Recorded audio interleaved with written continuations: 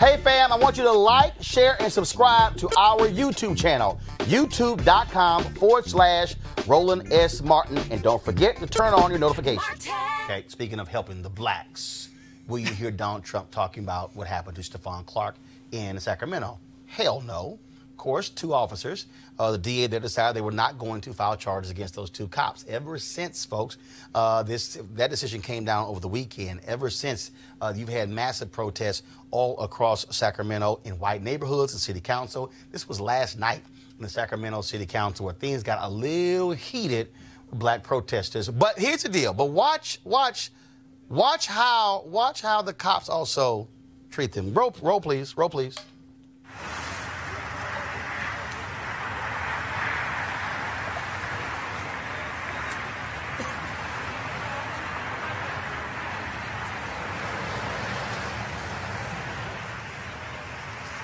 Now, folks, this is, of course, video again showing uh, a protest in a uh, white neighborhood. And, you know, folks are like, okay, you see how many cops are out there? That's a hell of a whole lot of cops. Uh, for not really uh, a lot of people. Now, uh, check this out. Last night, of course, uh, they were at the city council. Go to my iPad, please. This is the video here at the city council. Now, I want to want to show you something. Now, I want you to watch. He's black. Watch the cops respond, but watch how they back off when the people who are not black come around him. Do you see how how it changes? Now, I have never seen white cops not jump in and snatch folks and arrest them, Joseph, but they would have had to go through white and Asian protectors that, not only that, but you saw the white woman jumped up on the podium. They snatched the black brother off, left her alone, and it, all their attention was on him and not her. I mean, it's emblematic of what we've seen across. One's a hell of a strategy, by the way. Well, absolutely. Yeah, yeah. I mean, it's really good. it's smart. It's allyship too. That's smart. Well, and also, you know, in, in, in Sacramento, we've had these problems for years. I mean, it's nothing new.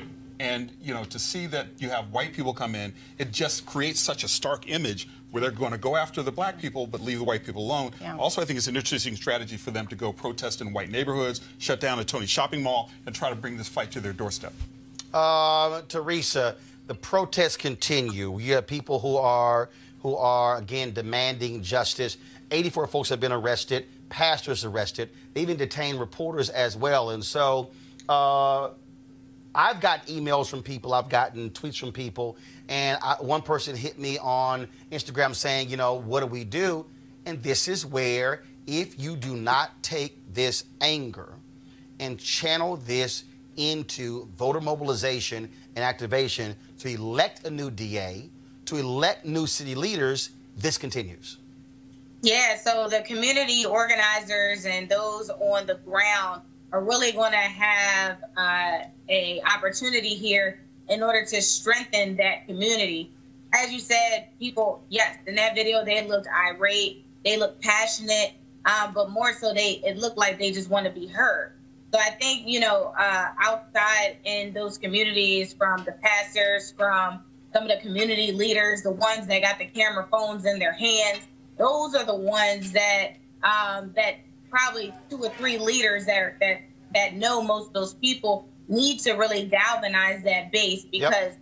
honestly, this can go into a step two. This can also go into uh, uh, uh, an unnecessary fall uh, for another African American male, and I don't want to see it like that. Um, nor should it get like that if we all um, start to look at our, our current resources, look at our leaders that's on the grassroots level, and say, listen, you need to step up, you need to speak out, and it needs to be louder now more than ever. All right, folks, back to our Roland Martin Unfiltered video in just one moment. All right, folks, calling all HBCU alumni, students, and leaders enter the Ford Motor Company HBCU Mobility Challenge and win 25000 bucks for your school.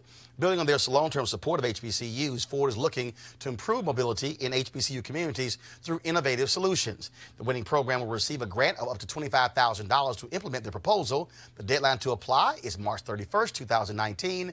Go to fgb.life, that's fgb.life for more info and to apply. Ford goes further in our community. Now back to your Roland Martin Unfiltered video. Thank you.